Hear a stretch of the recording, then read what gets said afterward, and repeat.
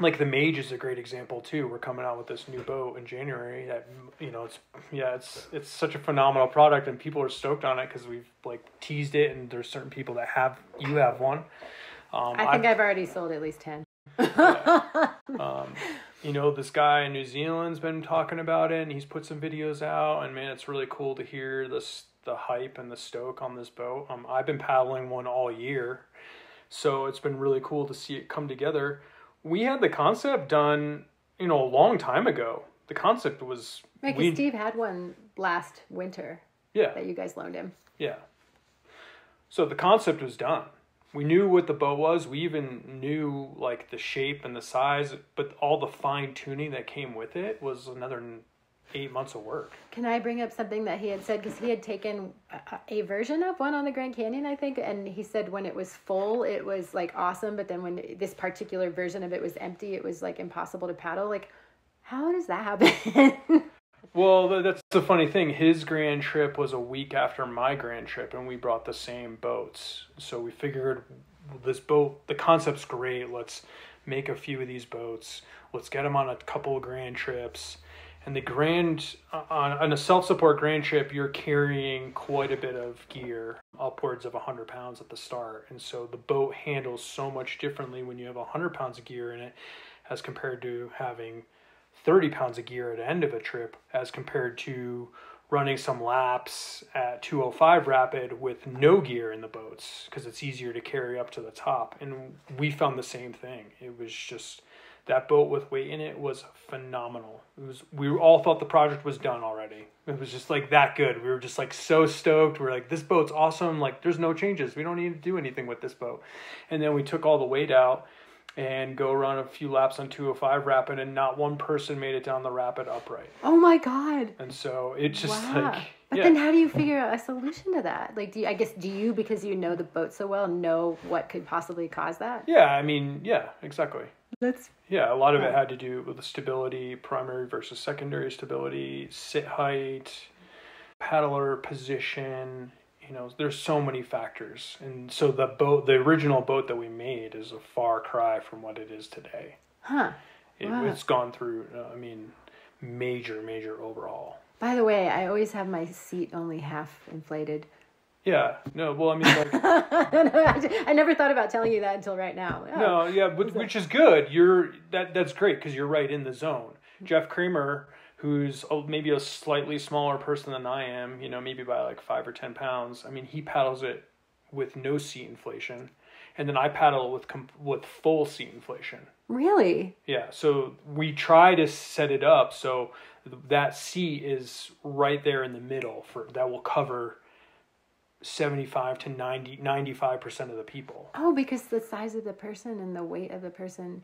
So it's yeah. not just the size of the boat correlating to the size of the person. It's like I mean that's it's that is part of it, but we figured out with the Valkyrie that you need you need to have I mean, and it's very obvious. You need to have your heels below your hips.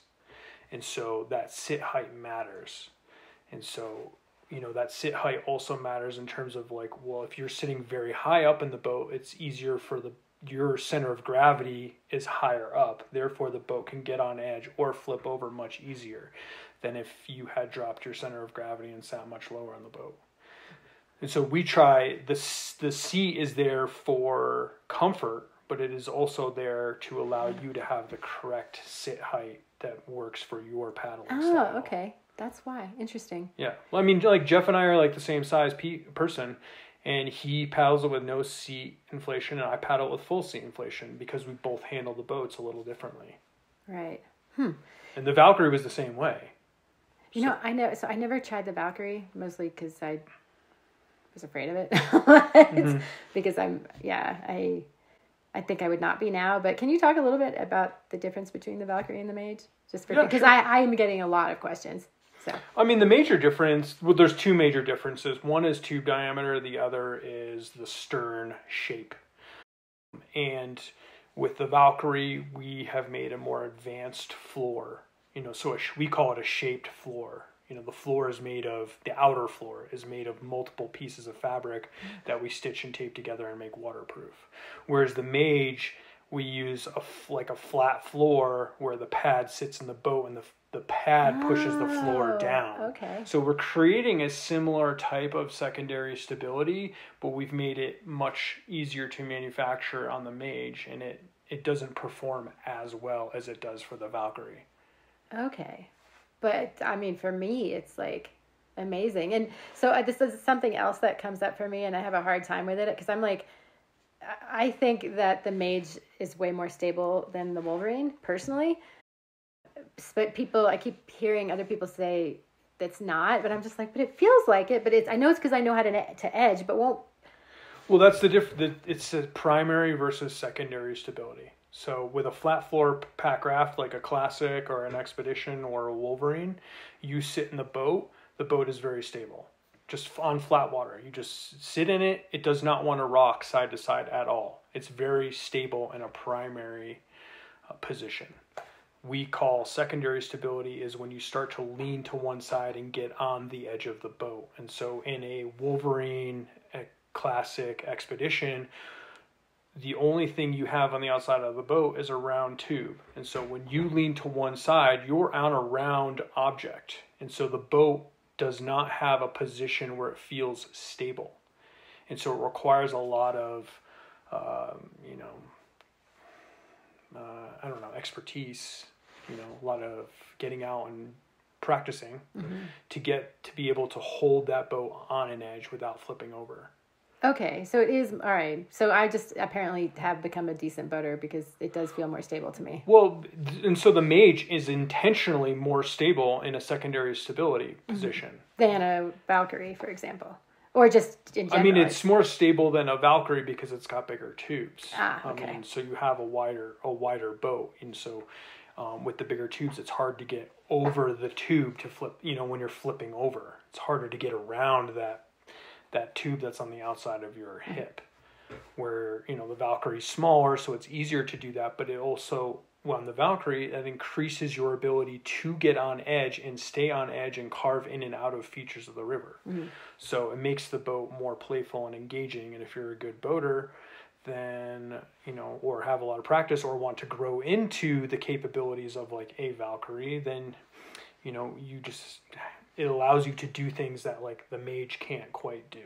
But the mage is like such a perfect sweet spot for someone like me Mhm. who has no class five aspirations, barely class four aspirations. Yeah. And so, you know, what I would recommend for most people, you know, especially if you're a beginner, very beginner, just want to run some whitewater, um, you know, a flat floor boat like a Valkyr or like a Gnarlwhal or an expedition are are great boats for that. But if you if you want to run whitewater and you're thinking that you're going to run run a lot of whitewater and get good at it, then the Mage is a, a fantastic boat because it allows you to get on that secondary stability much easier without flipping over, and you can carve through features of the river as you're going downstream. And so it, it's a great boat that people can grow into, and it's it's very it might feel unstable you know, so that's what I'm guessing is that people are saying, "Hey, it's not that stable." It's because it's not very stable in a primary, um, primary position. When you just hop in the boat, the boat Yeah. does want to edge side to side.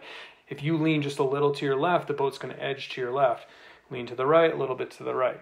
But when it gets to that stable secondary position, it does not want to keep going, and so that makes it more stable and more friendly in whitewater environments.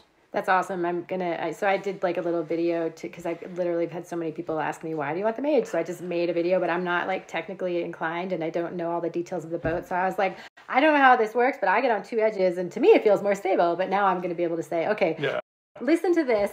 and, and yeah, well, no, and that's kind of funny because we came. I put together a product video for the Mage that'll be on the website. You Yeah. know, on the product, and it's like, but it talks about like what the boat is, not why you necessarily want the boat over something else. Ah, well, You know, because it's like, oh, the boat has a drop floor, it has this foot pillow attachment, it has four point thigh straps, it has this type of, of stern and bow, and these types of self bailing holes. It's like, what is the product versus like this conversation? It's like, well, you want this boat over a Gnarlwhal if you're trying to increase skill and get downstream with more engaging, what I would call fun. Some people might not feel that way, but that's how I feel. Well, and this is this is like what I think about because I we're because we are oh, constantly having people ask what types of boats they should be in, and I base what I tell people on what I know about them and what they tell me. Like, I, you know, I have a, a husband wife that the husband's like, I really want to do class three, and my wife, she's probably going to do class one in lakes, and uh, and I'm and so I'm gonna do this. I'm gonna get this boat, and then and we'll share it. And I'm like, well, I, like eventually that's a great boat to start in, but probably you're gonna want the Mage because you're like me, and like we, and that's pretty much like every single, pretty much every single client I have. They're like, well, what should I use? Yeah. So anyway, Yeah, I mean, like the Valkyrie is not great for for heavy loads, so it's not like a great Grand Canyon boat or a long multi-day trip boat. Um, but the Mage is Mage has got more volume, but then you know the Valkyrie is a better boat for like creaking. yeah, You know, you're not you, you have 20 pounds on the boat. It's very easy to maneuver. You know, I mean the the Mage will do fine, but the Valkyrie is a better craft for that yeah, if that's where your skill level is. right.